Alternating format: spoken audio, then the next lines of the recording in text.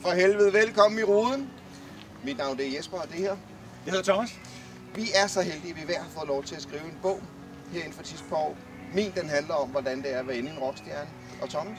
Ja, min bog handler om, hvad, vi, hvad alle ledere kan lære af den måde, som rockbands fungerer på. Noget af det, der virkelig kendetegner rockbands, er jo også, at man er handlingens folk. Og når man, når man er i rockbands, så mange gange, så de der sådan, der, hvis vi kigger på, hvad der, hvad der sådan, er meget moderne, har været moderne de sidste 10 år inden for ledelse, så er det jo anerkendelse, værdsættelse, dialogiske kompetencer. Inden for rocken er man ikke talende folk nødvendigvis, man er handlende folk. Tale, refleksion, anerkendelse, de der ting, vi virkelig holder fast i i Skandinavien ledelsestraditioner, er faktisk mange gange i rockmusikken et unødvendigt stop på vej hen imod noget helt fantastisk.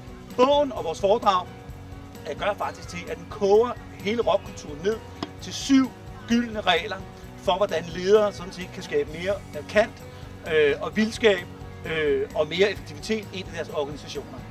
Og jeg sidder så ved siden af jer og siger, det er ikke rigtigt, Thomas, for I er tilbage i øvelokalet i 87, der kan jeg huske. Og alle sådan nogle ting kommer frem. Masser af gode anekdoter, Ja, ikke? for eksempel. Lige præcis, ikke? Øhm, alt er improviseret. Vi har en lille grundskabelon. Øh, men grundlæggende handler det for os om at give et alternativt ledelsesapparat, som handler om at frisætte ledere, frisætte øh, medarbejdere, frigøre øh, talent, øh, frigøre energi, øh, fordi det hele, Jesper, i rocken, starter med en vibe, ikke? Det starter med vej, det handler også om Det mod og noget med at, at øh, sådan helt blindt tro på sig selv til at starte med, og så kommer der altså noget godt ud, hvis ikke man hele tiden skal måles og vejes af en leder.